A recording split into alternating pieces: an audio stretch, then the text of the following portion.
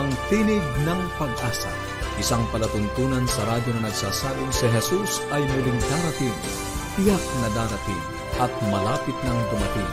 Kaya kaibigan, kumandatan siya sa lubungin.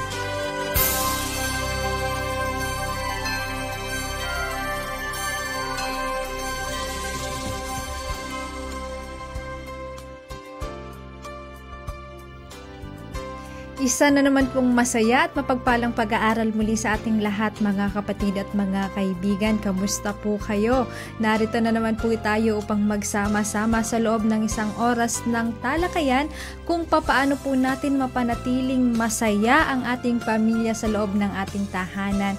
At pag-aaral din naman po ng banal na salita ng ating Panginoon nang sa ganon ay mas mapanatili pa po natin or mas mapalago pa po natin ang ating relasyon at ang ating pananampalataya mananampalataya sa ating Panginoon. Ako pa rin po ang inyong makakasama sa mga oras na to. Ako po si Maria Macaraeg, inyong kaibigan at lingkod dito sa Tinig ng Pag-asa. At mga kapatid at mga kaibigan, kung kayo man po ay nakakaranas, ikaw ba kaibigan, ay nakakaranas ngayon ng mga problema na parang uh, nais na nating i-give up ang ating pananampalataya sa ating Panginoon. Ano po yung tipong pagod na pagod na tayo sa mga problemang ating napagdadaan pinagdaanan. Ayaw na nating lumaban. Gusto na nating sumuko. Ano po, gusto na nating i-give up lahat ng nasimulan nating pananampalataya sa ating Panginoon sapagkat hirap na hirap na po tayo sa ating mga problema. Ngunit ano po ang magandang paalala sa atin sa aklat ng Revelation chapter 2 verse 10? Be thou faithful unto death, and ye shall receive a crown of life. Tayo po ay maging matapat hanggang sa kahuli-hulihang ating hininga, hanggang sa ating kamatayan. At tayo po ay makakakuha ng buhay na walang hanggan. Mga kapatid at mga kaibigan, napakasarap sa pakiramdam. Ano po, na tayo ay naghihirap, pero sa kaduluduluhan, sa pinakakatapusan ng ating buhay, tayo ay magkakaroon ng buhay na walang hanggan. Hindi yung naghihirap tayo ngayon sa maling pamamaraan tapos sa dulo ay wala pa tayong makukuha. Nako, napakasaklap po. Kaya mga kapatid, wag po nating i-give up ang ating pananampalataya sa ating Panginoon. Patuloy pa rin po ang ating libreng pamimigay ng mga aklat, aralin at babasahin patungkol sa Biblia. Kung ikaw kaibigan ay nagnanais na makatanggap nito ay maaari ka pong tumawag or mag-text sa mga numerong aking babanggitin. 0917 1742 777 Inuulit ko pa 0917 1742 777 O di naman pa kaya sa ating smart number 0968 8536 607 0968 8536-607 at para naman sa iyo kaibigan kung ikaw man po ay nasa labas ng ating bansa.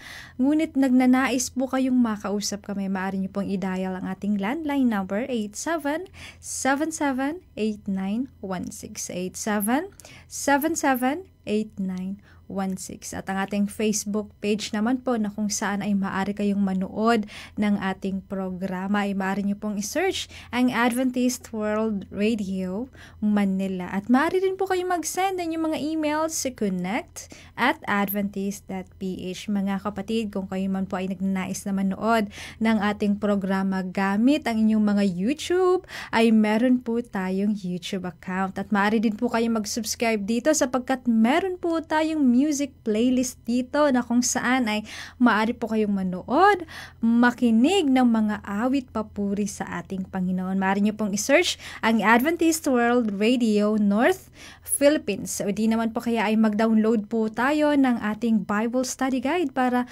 kahit saan man po tayo at kahit anumang oras tayo po ay makakapag-aral ng banal na salita ng ating Panginoon. Maaari po kayong bumisita sa ating website, bibleschools.com slash Central Luzon. Sa buhay pamilya ay meron po tayong bagong makakasama, mga kapatid, mga kaibigan. Ngunit bago ang lahat ay tayo po muna ay magbibigay pasalamat kay Ma'am Josie Calera sa kanyang kaalaman na ibinahagi sa atin patungkol sa kung papaano po natin mapapanatiling masaya ang ating pamilya sa loob ng ating tahanan. At ngayon nga po ang ating bagong makakasama ay ang ating Assistant Treasurer dito sa ating tanggapan ng North Philippine Union Conference na walang iba kundi si Ma'am Marilu Ardesa. Ayan, meron po tayong serye. Ayan, ito po ay pinamagatang 40 Days of Prayer and Devotion to prepare for the second coming. Ayan mga kapatid, mga kaibigan, ating pong uh, subaybayan ang seryeng ito. At sa pag-aaral naman po ng banal salita ng ating Panginoon, tayo pa rin po ay pangungunahan ni Pastor Romeo Mangiliman sa pagtalakay naman po ng ating bagong serye. Meron po tayong bagong serye at ito po ay pinamagatang Women in the Bible. At ang una nga po nating talalakayin sa ngayon ay ang unang babaeng nilikha ng ating Panginoon na walang iba kundi si Eve. At ngayon nga po ibigay na po muna natin ang panahon kay Ma'am Marilu para sa pagbabahagi po ng ating bagong seryeng 40 Days of Prayer and Devotions to prepare for the second coming. Maligayang pagbati po sa inyong lahat, mga kapatid at mga kaibigan. Ako po si Sister Marilu Crisostomo Ardesa, kasalukuyang po manggagawa ng North Philippine Union Conference or NPUC. Nandito po tayo ngayon sa Adventist World Radio tinig ng pag-asa. Ako po ay nalulugod sa opportunity o pagkakataon na magkasama-sama po tayo sa mga susunod na araw. Ito po ay um, tinatawag natin na 40 days na pagsasama-sama para po sa isang debosyon at uh, pag-aaral po ng salita ng Panginoong Diyos para po tayo ay mahanda sa malapit na pong pagdating ng ating Panginoong Jesus. At ako po'y umaasa na hindi lamang po kayo ang mabebless, kundi pati rin po ako. At alam ko po, sa pamagitan po ng Holy Spirit, ng banal na Espiritu, ito po ay mangyayari. Ang ating pong gagamitin ngayon na, pag, uh, na libro sa pag-aaral na ito sa ating pong pagsama-sama sa mga susunod na araw ay pinamagatan po na Ingles na 40 Days of Prayer and Devotion to Prepare for the Second Coming. Ito po ay maikli lamang na pag-aaral araw-araw at uh, ito po ay very exciting kasi po magkakaroon tayo ng opportunity para magkaroon po, makapili po tayo ng mga tao na ating pong ipapanalangin sa loob ng apat na pong araw. So, ganito po ang aking uh, suggestion or request sa inyo mga kapatid. Kung kayo po ay magkakaroon o makakahanap ng isang tao na makakapartner nyo para po maibahagi ang inyong mga napag-aralan dito araw-araw at um, makasama nyo po sa pananalangin ay lalong mas maganda po. Mas iba po yon mas uh, mas exciting po at uh, mas ma-inspire po kayo kung mer- meron kayong makakasama. So ngayon pa lamang po, ipag-pray nyo na po kung sino yung tao na yon na ipapadala po ng Panginoon para po makasama nyo, makapartner nyo sa, mga, sa gagawin pong programang ito. And then, atin pong ipanalangin kung sino po yung mga tao na ipagpe-pray natin. Mamili po kayo ng limang tao, five individuals na nais nyo pong ipag-pray at yung pong inilagay ng Panginoon sa puso nyo na ipag-pray po sa loob ng apat na pong araw para po sila po yung talagang magiging focus ng inyong panalangin for these 40 days. And then after that, kung inyo pong mar- mararapat, mararapatin or kung pwede po, kung sa tingin nyo naman ay posible na maari nyo po silang kontakin or um, sa tawagan, sabihan na sila po ay inyong pinili sila po ang inilagay ng Diyos sa puso ninyo na para ipag-pray for 40 days at um, tanungin niyo po sila kung ano po yung nais nila na ipanalangin nyo sa, kanya, sa, sa kanila sa loob ng mga araw na ito. And then, kung maaari po kayong may magawa para sa kanila na special favor, mas maganda po yun, no? Habang ipinagpe-pray po. Hindi lamang po panalangin, kundi kung ano po yung impress ng Panginoon sa inyo na maaari yung bigay na favor sa kanila, mas maganda pong gawin yon. And then, isa pa po, mag-create po kayo, gawa kayo ng parang uh, card na nandun po yung pangalan ng limang, itigi-tigisa po yung bawat tao na yon na ilalagay niyo po yung pangalan nila, ang kanila pong phone number, Kung may email address po, ilagay nyo rin po ang kanilang address at kung ano po yung kanilang mga prayer request na hiningi nyo sa kanila. And then, yung araw na pinagpe-pray nyo sila para lalagyan nyo po ng check yung bawat araw na sila po ay pinagpe-pray nyo. And then, kung ano po yung caring activities na naisip nyo para maipadama nyo sa kanila ang pag-ibig ng Panginoon habang sila po ipinagpe-pray ninyo. Yan. So, tandaan po natin ha. Ipag-pray na po natin ngayon kung sino po yung mga tao na yon na ilalagay ng Diyos sa puso ninyo na ipagpe-pray nyo for 40 days. Ito po, ito po yung mga pwede nyo ipag-pray sa kanila in case na hindi nyo po sila makontak at wala po silang masabi na mga prayer requests. Ito po yung mga suggested prayers for them. Una po, matatagpuan po sa Juan uh, chapter 6 verse 44 na sila po ay mapapalapit sa ating Panginoong Jesus, that God will draw them to Himself. No? Sabi naman po sa Acts chapter uh, 17 verse 27, that they seek to know God, na magkakaroon sila ng desire o pagnanais na hanapin ang ating Panginoon. And then sa 1 Thessalonians chapter 2 verse 13, na sila po ay maniniwala sa mga salita ng Diyos na ating pong pag-aaralan, no? Marami po 'yan. And then sa 2 Corinthians chapter 4 verse 4, chapter 10 verses 4 and 5 na ang kaaway sa Satanas ay ma matatalian ang kanyang kamay para po hindi siya maging hadlang sa pagsisik o sa pag-aalam po ng katotohanan ng mga taong ipinagdadasal po natin. No? Yung kanyang mga influence sa buhay nila ay matatanggal. And then sabi po sa John 16 verse 8 to 13 that the Holy Spirit will work with them o yung banal na espiritu ay gagawa po sa buhay nila during these 40 days and even after the 40 days of prayer.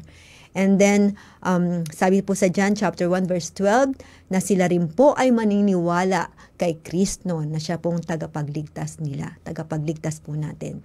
At sa isa pa po, Matthew chapter 7 verse 21, na sila po ay magkakaroon ng pagnanais na sundin ng ating Panginoong Hesus bilang kanilang Panginoon. At sa huli po na prayer na suggestion ay matatagpuan po sa Colossians chapter 2 verses 6 to 7 that they take root and grow in Christ. Sila po ay lalago sa ating Panginoong Jesus. So yan po yung mga suggested prayers and of course, yung pong mga prayers na nahingi nyo sa kanila, isama nyo po yon At yung pa pong mga prayers na ilalagay po ng Panginoon sa puso ninyo during these 40 days.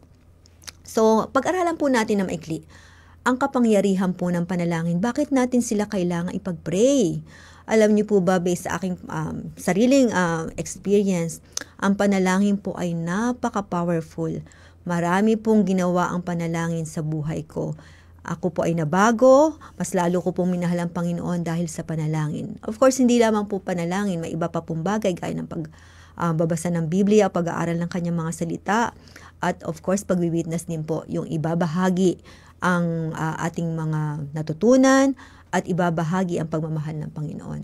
Sabi po sa mga sulatin dito sa libro na aking pong isinishare sa inyo, ang panalangin daw po ay napaka-importante para po lumago ang ating spiritual na buhay. Hindi po pwedeng lumago ang isang tao spiritually without praying. Sabi po, ito raw po ang pinaka-epektibo na paraan para po ma madala ang mga tao sa paanan ng Panginoong Hesus para po ma-reach out ang mga tao para kay Jesus. Napaka-importante po ng panalangin. Sabi pa po, ang panalangin ay hininga ng ating kaluluwa. Parang kung sa hangin po na physical, no? Physical, yung hangin ng ating uh, kailangan para po tayo mabuhay o makahinga. Ang prayer naman po ay kailangan na kailangan para po sa um, paghinga ng ating spiritual. Kung wala po ito, tayo ay mamamatay spiritually. At yan din po ang sekreto ng kapangyarihan, no? Wala daw pong ibang paraan o substitute na maaring mailagay para po um, mag- madala natin ang mga kaluluwa sa paanan ng Panginoong Hesus. So, talaga ang prayer po ay nagkakaroon, ito'y paraan para makakonect tayo sa Panginoong Hesus. Yung ating puso ay makakonect sa Kanya. At siya rin po ang nagbibigay sa atin ng lakas. Ano? At ang uh, huli po, ang prayer po, uh, through much prayer, o dahil sa maraming panalangin, ang um, tayo po ay nagle-labor o tayo ay gumagawa para po sa kaligtasan ng mga kaluluwa sa paligid natin.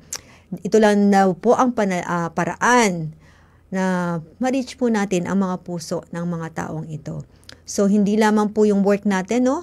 But the work of Jesus Christ through the Holy Spirit ang siya pong mag impress sa puso ng mga taong ating ipinapanalangin. And then, ano pa po ang importante na ating pag-aaralan nito mga darating na araw? Ang kapangyarihan po ng banal na Espiritu.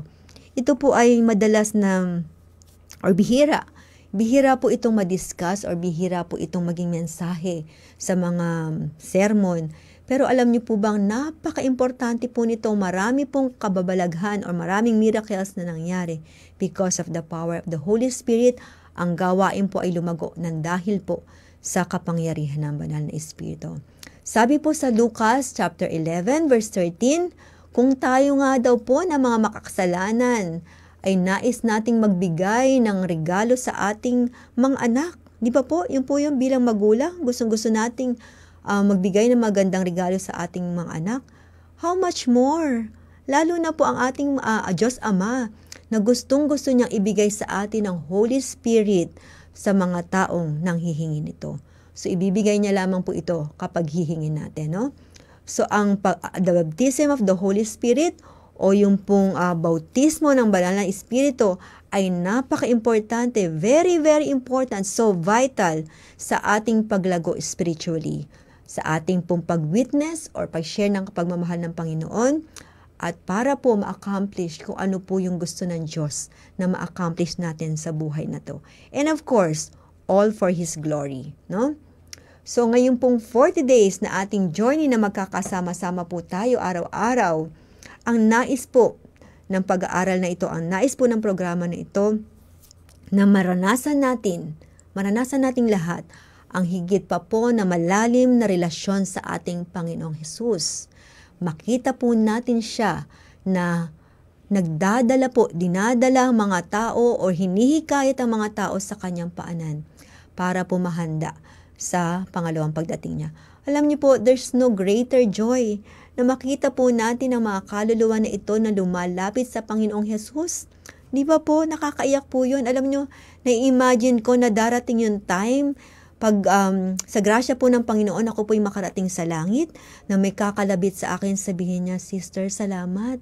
Nang dahil po sa inyong mensahe, nang dahil po sa mga ginawa niyo pong tulong para sa amin, ay nandito ako sa langit. Di ba po? Yun po ay talagang nakakaiyak na scene. Nakakaiyak po na tagpo na may magpapasalamat po sa atin sa langit dahil po sa mga ginawa ng Diyos through us na tayo po'y nagpagamit ang, ang, ang isa pa po na objective or uh, hangarin ng itong 40 days na ito ay ma-experience po natin ang kapangyarihan ng banal na espiritu na magta-transform, magbabago sa ating buhay para po tayo ay maging babae at lalaki na ginawa ng Panginoon. Yung intention po ng Diyos na malapit sa Kanya, gumagawa para sa Kanya, nagmamahal at ibinabahagi po ang Kanyang pagmamahal sa buong mundo at kung saan man po ang ating nasasakupan. So mga kapatid, akin pong idinadalangin na ito lamang po ay simula ng ating pagsasama-sama ng matagal na panahon. 40 days po yon. At akin pong inaasahan na kayo po'y aking makakasama sa mga araw na darating. At nawa po ang pagsasamang-samang ito ay magdadala po ng higit na malalim na pagmamahal sa ating Panginoong Hesus at tayo'y mananabik na siya ay makasama sa ikalawang pagdating niya po at doon po dadalhin niya tayo sa langit na bayan na inihanda niya. Nawa, ang programa pong ito ay magbigay po ng pag-asa, maging tinig ng pag-asa po sa inyong lahat. So magandang um, araw po at nawa po ay uh, magkasama-sama po po tayong muli sa mga darating na araw. God bless po. Pagpalain po tayong lahat ng ating Panginoong Jesus. Maraming maraming salamat po Ma'am Marilu sa napakanda at malinaw na talakayan po natin ngayon. Mga kapatid at mga kaibigan, inaanyayahan po ang bawat isa sa atin. Ano po na kung pwede ay huwag ho tayong mag-isa na makinig ng napakagandang pag-aaral nating seryeng ito. Kaya kung tayo po ay may mga mahal sa buhay, may kasama sa loob ng ating tahanan, ay atin po silang imbitahan na samahan tayo sa pakikinig ng pag-aaral na ito sapagkat napakasarap po sa pakiramdam na tayo po ay nak nakakapakinig ng mga pag-aaral ng patungkol sa banal na salita ng ating Panginoon. Ito po ay 40 days. Nawa ay 40 days din po tayong magsama-samang mag-aral kasama ang mga mahal natin sa buhay.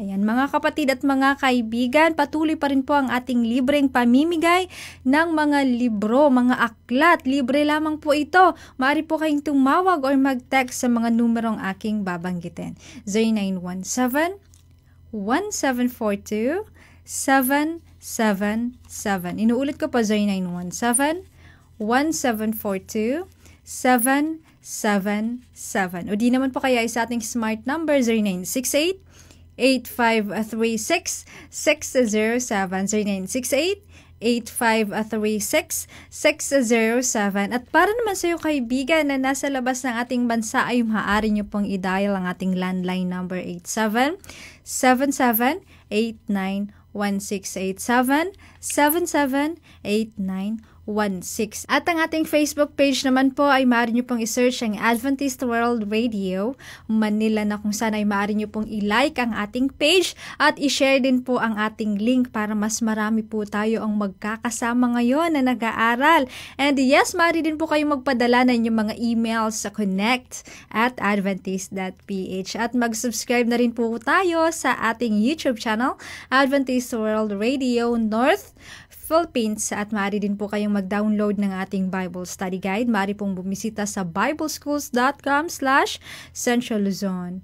Bago po natin tuloy ang mapakinggan si Pastor Romy sa ating pag-aaral ngayon ay tayo po muna ay makakapakinig ng isang magandang mensahe ng awitin.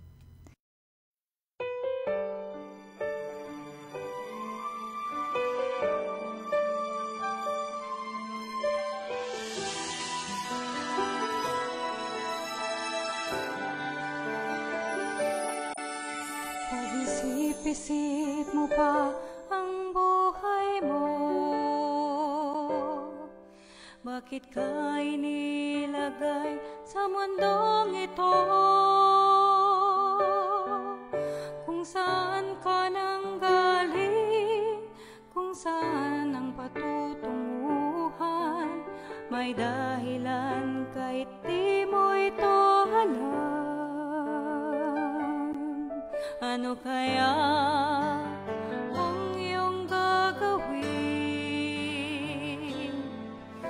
Ipagpatuloy mo ba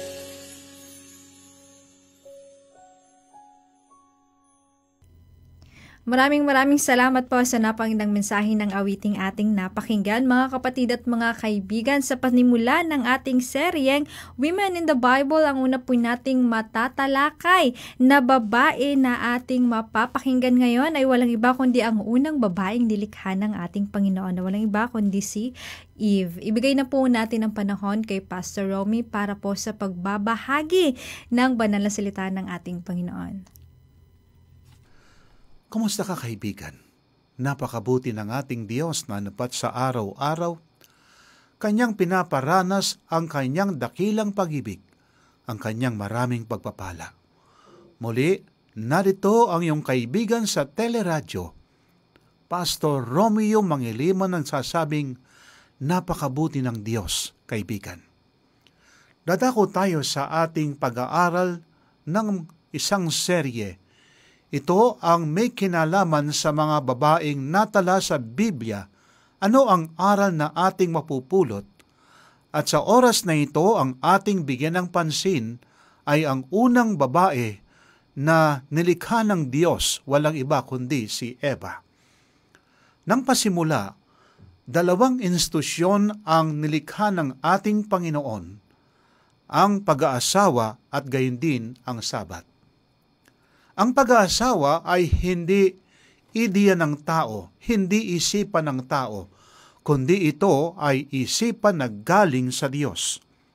At ang sabi ng ating Biblia sa Henesis Kapitulo 1, ating simulan sa versikulo 26, ang wika, At sinabi ng Diyos, lalangin natin ang tao sa ating larawan, ayon sa ating wangis, at magkaroon sila ng pamahala sa mga isda, sa dagat at sa mga ibon sa himpapawid, sa mga hayop sa buong lupa at sa bawat gumagapang sa ibabaw ng lupa.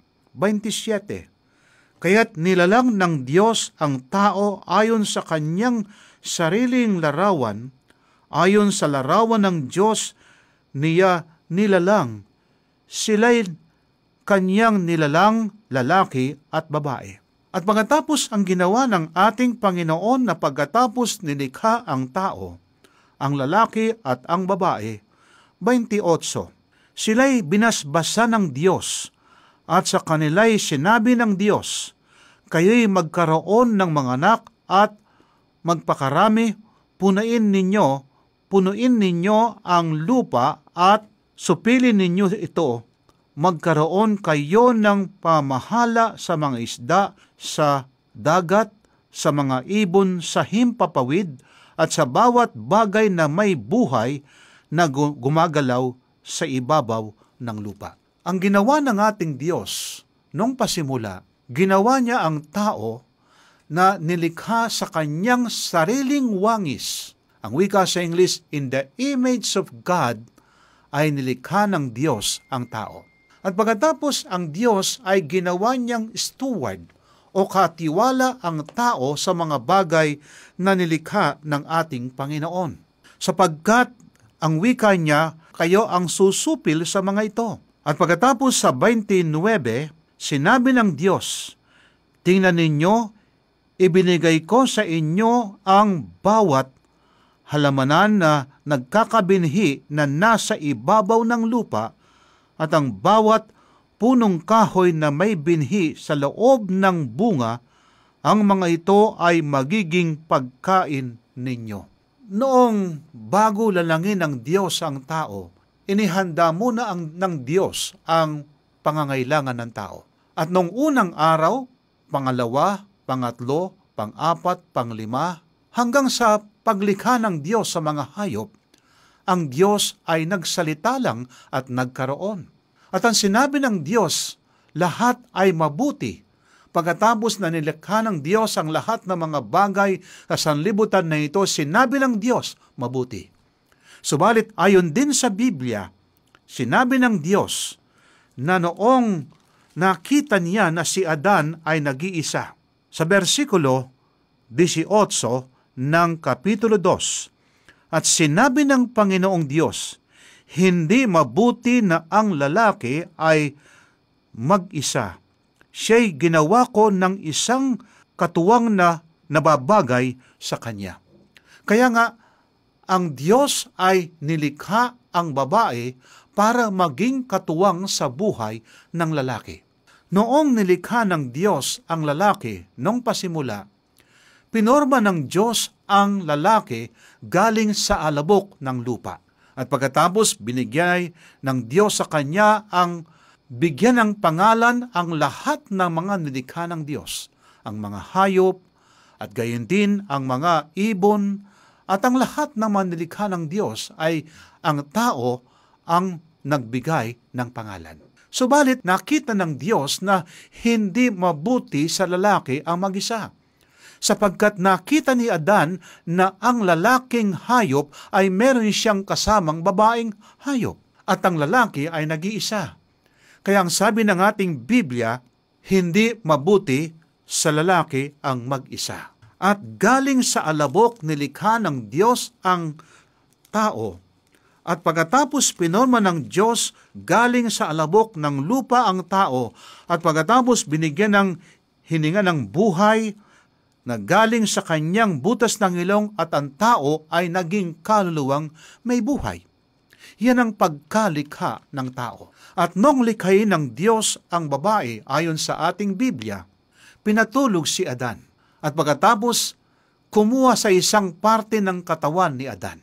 Noong nilikha ng Diyos si Eva na galing kay Adan, hindi kumuha sa bahagi ng ulo ng lalaki sapagkat hindi panukala ng Diyos ang babae ay maging ulo ng mag-asawa. Hindi rin kumuha ang Diyos sa bahagi ng paa ng lalaki sapagkat hindi panukala ng Diyos na yurakan at gawing alipin ng lalaki ang babae. Hindi rin kumuha ang Diyos sa bahagi ng kamay ng lalaki sapagkat hindi panukala ng Diyos na saktan ng lalaki ang babae, kundi kumuha ang Diyos isa sa kanyang mga tadyang, malapit sa kanyang puso upang kanyang pakamahalin at susuyuin habang siya'y nabubuhay.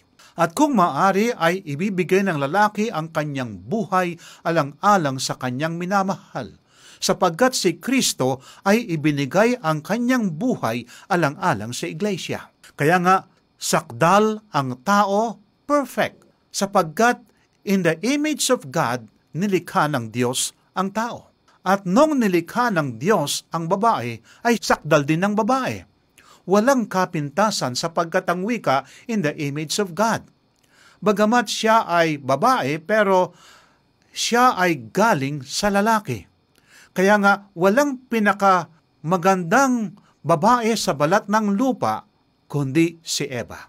Si Eva, ang unang babae sa lupang ito, siya ang unang mother, siya ang unang grandmother ng mga nilikha sapagkat siya ang babaeng nilikha ng ating Diyos. Ang wika pa ng ating Biblia, noong si Adan ay nagising at ibinigay ng Diyos sa kanya ang kanyang asawa ayon sa aklat ng Henesis 2.23 3.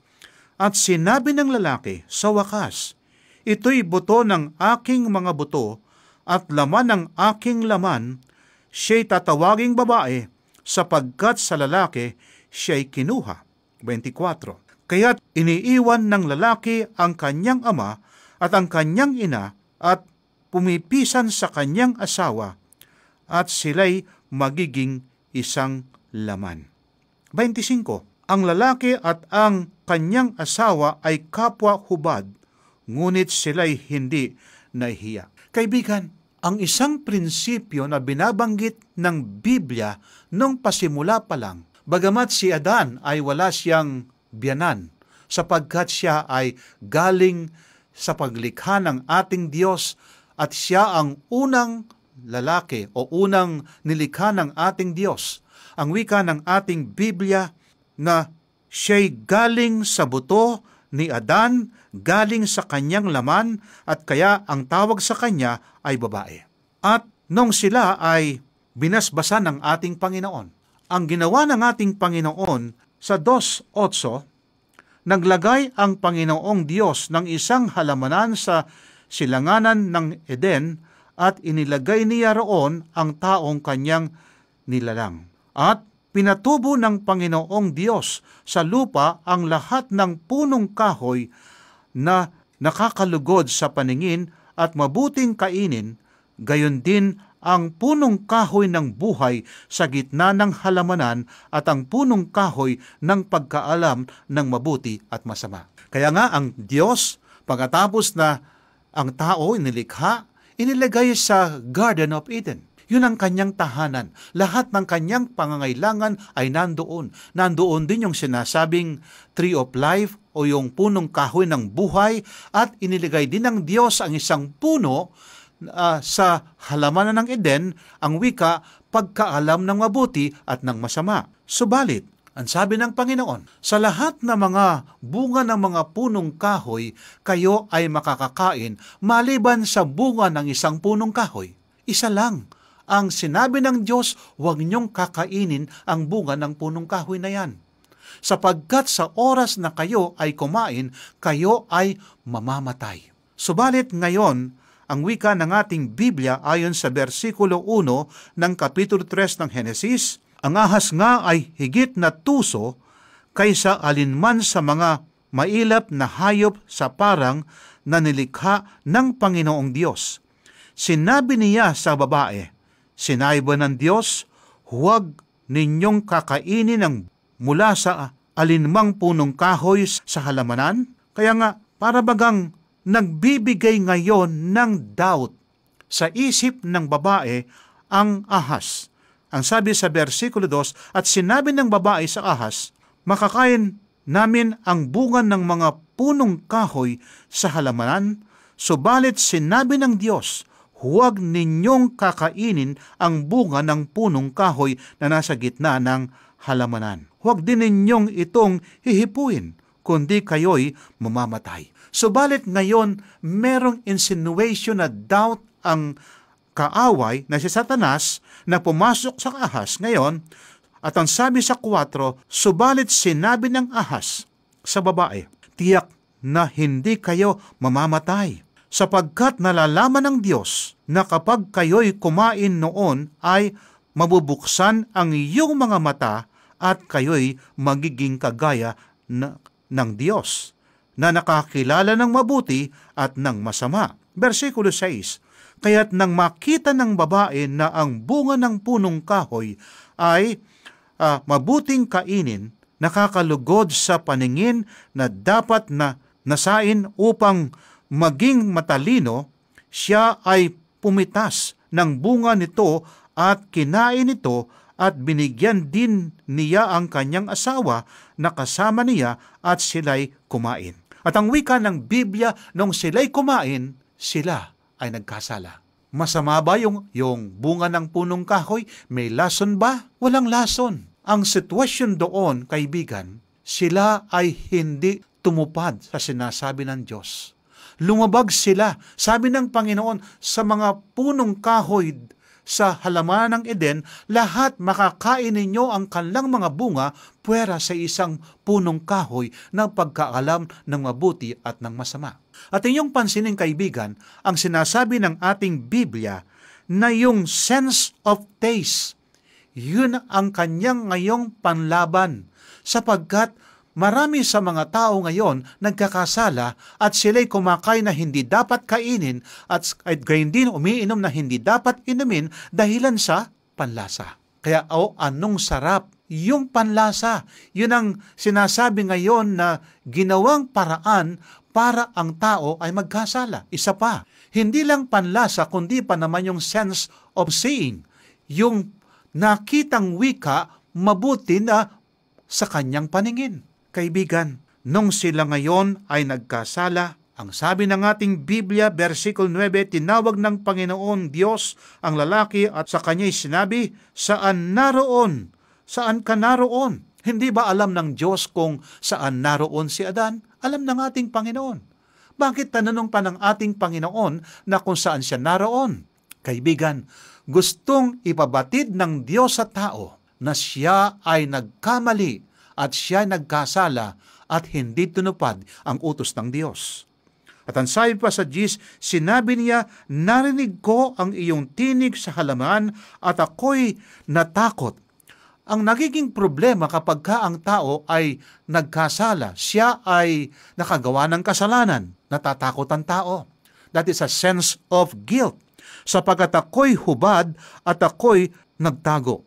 Sa 11, at sinabi niya, Sino nagsabi sa iyong ikaw ay hubad? Kumain ka ba ng bunga ng punong kahoy? Hindi ba alam ng Diyos? Alam ng Diyos.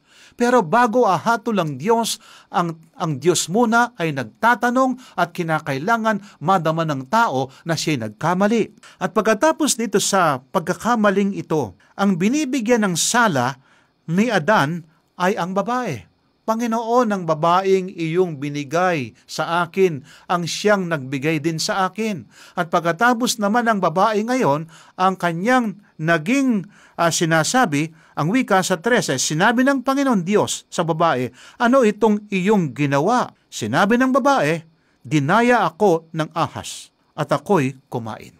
At dito, walang ibang sinisisi kundi ang Diyos.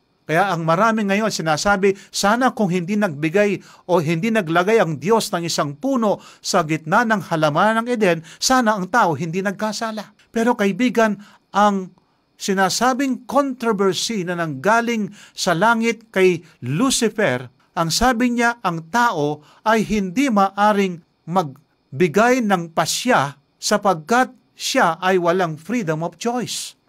Kaya binigyan ng Diyos ang tao ng freedom of choice para ang, ang tao ay maglilingkod sa Diyos.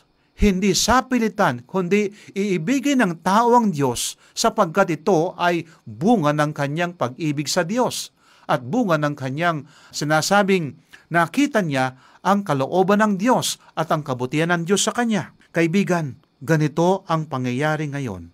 Kaya noong nagkasala ngayon ang tao, nagkaroon ngayon ng sumpa sa kanya. Hindi lang sa kanya, pati ang lupa ay naisumpa ng Diyos. Kaya nga nagkaroon ng dawagan, nagkaroon ng mga tinik. At ang wika, noong nagkasalang tao, sila ay pinaalis ng Diyos sa kanilang tahanan sa Eden. Sapagkat kung hindi pinaalis ng Diyos at sila ngayon ay uh, pumitas ng bunga ng punong kahoy ng tree of life, kaibigan, ang tao ay forever siyang mabubuhay na makasalanan. Kaibigan, ano ngayon ang leksyon na ating matutunan dito sa karanasan ni Eve o ni Eva? Ang karanasan dito na ating mabigyan ng pansin, kinakailangan tayo ay kontento kung ano ang meron tayo. Nagbigay na ng pagkain ang Diyos sa tao na kanyang nilikha. Pero yung hindi pinapakain ng Diyos ay kanya pang ninasa na kanyang kainin. At ang sabi ni Apostol Pablo sa aklat ng Pilipos 4.11, Hindi sa nagsasalita ako dala ng pangangailangan sapagkat aking natutuhan ang masyahan sa anumang kalagayang aking kinaroroonan. Si Apostol Pablo ay kontento na sa kanyang kalagayan. Ang problema kung minsan sa tao, wala siyang contentment. Pati yung hindi dapat uh, kainin, hindi dapat kunin, ang tao ay nakikialam pa. At ang sabi pa ni Apostol Pablo sa sulat niya kay Timoteo 1.6 at 8, Ngunit kung kayo'y may pagkain at damit, masyahan na tayo sa mga ito. Kaya kung ano ang meron binigay ng Diyos, kinakailangan meron na tayong contentment, kaibigan. Hindi pinagkakalob ng Diyos yung bunga na pinagbawal ng Diyos, pero hindi kontentong tao.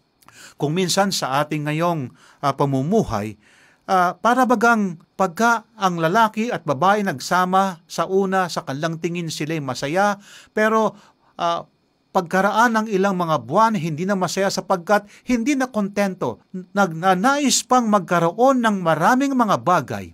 Kaibigan, kung ikaw ay mag-aasawa at ikaw ay nag-asawa, ano ang iyong layunin sa buhay? Dahil ba sa pagmamahal? O yung ibang klasing sinasabing security? Ang iba ay nag-aasawa because of financial security. Ang iba naman ay nag-aasawa sa ibang mga uh, na pagnanais, kaya ngayon hindi pag-ibig ang dahilan. Pero nais ng Diyos tayo ay maging masaya. At maging masaya ka lang kung ikaw ay matutong magbigay. Kaya dito si Adan ibinigay ang kanyang sarili sa Diyos, sa sa Diyos. Hindi lamang 'yon, ibinigay ang kanyang sarili sa kanyang asawa at ang asawa naman ibinigay ang kanyang sarili sa kanyang asawa. Ganoon kaibigan ang pagiging masaya. Hindi ang pagiging selfish. Pagka ikaw ay selfish, hindi ka masaya sa iyong pamumuhay. Kaya nga, tayo ay matutong maging kontento. Ang isa pang leksyon na ating maranasan o matutunan sa pangyayaring ito, don't entertain the suggestion na ikaw ay magkakasala. Ang nangyari kay Eva, in-entertain niya ang tuso na ang kaaway na si Satanas. In-entertain niya.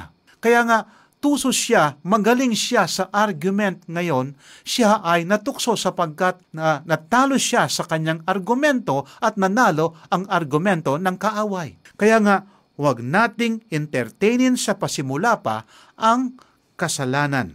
Don't make a decision alone that will affect the whole family. Kung ikaw ay gagawa ng desisyon kinakailangan isama mo sa paggawa ng desisyon ang iyong asawa at kung merong kayong mga anak, isasama ang mga anak sa paggawa ng desisyon.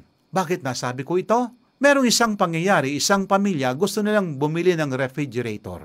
Subalit sa kanilang pagbili ng refrigerator ay kulang ang kanilang pera. Kaya sabi ng tatay at uh, ng nanay, mga anak, gusto nating bumili ng refrigerator pero kulang ang ating pera. So kung gusto niyong bumili tayo ng refrigerator, bawas ang inyong allowance. Bawas ang ating mga ibang pangangailangan sa bahay. At kung pumayag yung mga anak, sila ay magkakaroon ngayon ng bawas ang kanilang mga allowance pero hindi masama ang kanilang loob. At kung minsan may mga lalaking gumagawa ng desisyon, hindi sinasangguni sa asawa.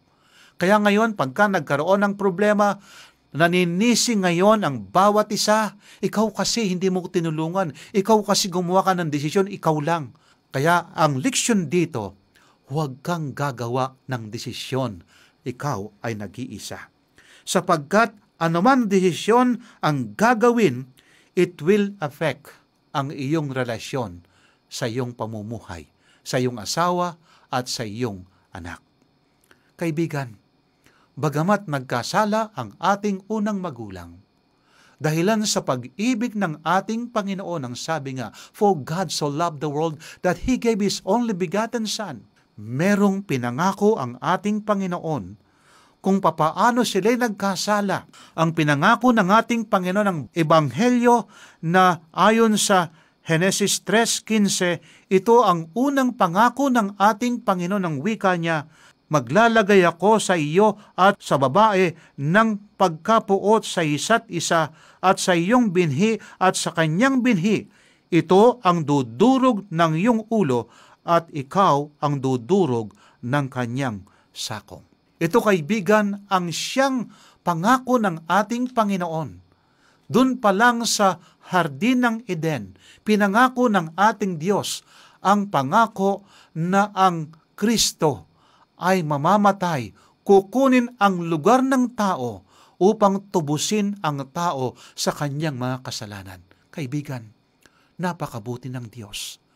Sapagkat sa kabila ng tayo ay nagkasala, ang anak ng Diyos ang nagdusa para sa atin. Kaya nga, kapag ka nakikita ko ang krus ng ating Panginoon, yung imposible ay naging posible na ako ay maliligtas.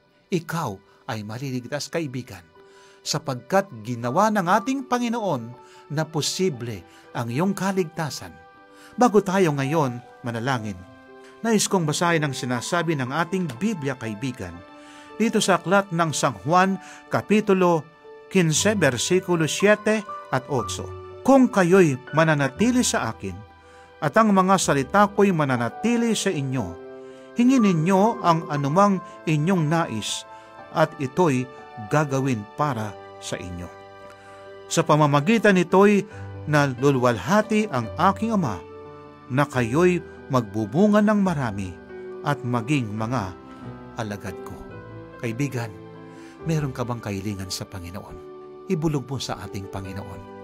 Alam niya, naunawaan ng Panginoon at nakikinig ang Panginoon sa iyo. Tayo manalangin. Dakila at mapagpala po namin Diyos napakabuti po ninyo sa amin. Bagamat kayo po ay nagkamali, nagkasala, subalit merong pong kaligtasan pinagkakalob ang aming Panginoon. Nagkamali ang aming unang magulang, subalit ang pagmamahal ng aming Diyos ay kanyang pinalasap sa taong nagkasala. Kaya nga ang pangako ng kaligtasan ay pinagkaloob ng aming Panginoon. Takilan Diyos, sinadalangin po namin sa oras na ito. Pagpalain po ng aking kaibigan Pagpalain po ang kanyang buong sambahayan. Pagpalain po ang kanyang hanap buhay, ang kanyang mga pananim. Pagpalain dakilan Diyos ang kanyang kahilingan sa inyo. Marahil ito po ay napakabuti na kanyang tanggapin, Panginoon, ipagkaloob po sa Kanya. Maraming salamat sa inyo pong pagibigay sa aming kahilingan, O Diyos. Maraming salamat ng aming Diyos ay nakikinig sa aming mga panalangin sa pangalan po ng aming Panginoong Hesus. Amen. Kaibigan, napakabuti ng ating Panginoon. Meron siyang panukala sa iyong buhay. Pagpalain nawa ng ating Panginoon, ikaw at ang iyong buong sambahayan. Amen. Maraming maraming salamat po Pastor Romy sa napakanda at napakalinaw na pag-aaral natin ngayon mga kapatid at mga kaibigan patungkol po sa unang babaeng nilikha ng ating Panginoon na walang iba kundi si Eve. Nawa tayo po ay uh, nakapulot ng magandang aral sa pamamagitan ng mga mensaheng ating napakinggan at nagkaroon din po tayo ng inspirasyon. Ano po? At nawang ating mga napag-aralan ngayon ay naging pagpapala din naman po ito sa atin na atin din pong maibabahagi sa iba nang sa ganon ay marami pa po tayo ang pagpapalain sa mensaheng ito. Hindi lamang po tayo, kundi pati ang ating mga mahal sa buhay. Ayan. Maraming maraming salamat po mga kapatid at mga kaibigan kung ikaw po ay may katanungan, may nais ka pong ibahagi, or may nais ka pong ipanalangin, or kung ikaw naman po ay nagnanais na makatanggap ng mga aklat, aralin at babasahin patungkol sa Biblia na ating libreng ipinamimigay pamimigay ay maaari ka pong tumawag or mag-text sa mga numerong aking babanggitin. 0917 1742 777. Inuulit ko pa 0917 1742 777. O di naman po kaya isa ating smart number 0968 8536 607 0968 8536-607. At ang ating landline number naman po mga kapatid ay 8777 8916 87 77 0917-938-8916. At ang ating Facebook page naman po na maaari nyong i-like at i-share ang ating mga links. Ay maaari nyo pong i-search ang Adventist World Radio Manila. At mag-send na rin po kayo ng inyong mga email sa connect at adventist.ph o di naman po kaya ay mag-subscribe na rin po kayo sa ating YouTube channel Adventist World Radio North Philippines at mag-download na din po tayo ng ating Bible Study Guide. Maaari pong bumisita sa bibleschools.com slash Luzon. Muli maraming maraming salamat sa iyo kaibigan sa walang sawang pagsuporta pagsubaybay, pakikinig sa ating mga pag-aaral, panunood. Ano po, nawa ito pong ating mga pag-aaral ay nagiging pagpapala sa bawat isa sa atin. Ang programa po ito hatid sa inyo ng Adventist World Radio Manila. Maraming maraming salamat sa iyo kaibigan. At para po sa ating pansamantalang paghihiwa-hiwalay ay baunin po natin ang salita ng ating Panginoon sa aklat ng Isaiah 59.1. Narito ang kamay ng ating Panginoon ay hindi maikli na hindi makapagligtas ni hindi mahina ang kanyang pandinig na hindi makadinig. Ako po si Maria Macarega, inyong kaibigan at lingkod dito sa tinig ng pag-asa. Bukas pong muli.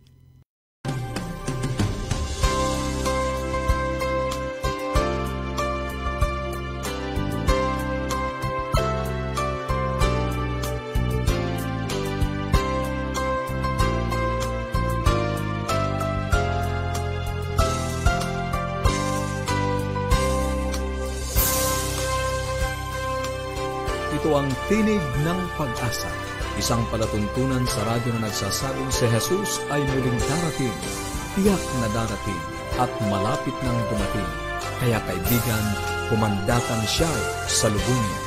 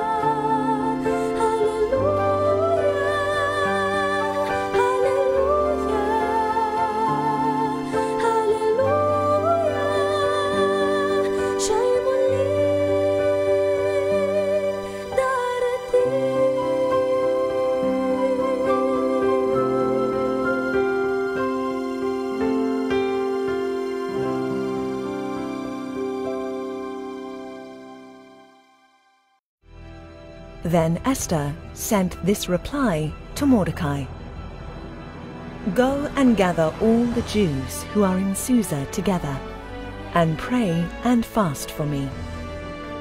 Do not eat or drink anything for three days and nights. I and my maidens will fast as you do. After that, I will go to the king, even though it is against the law. And if I perish, I perish.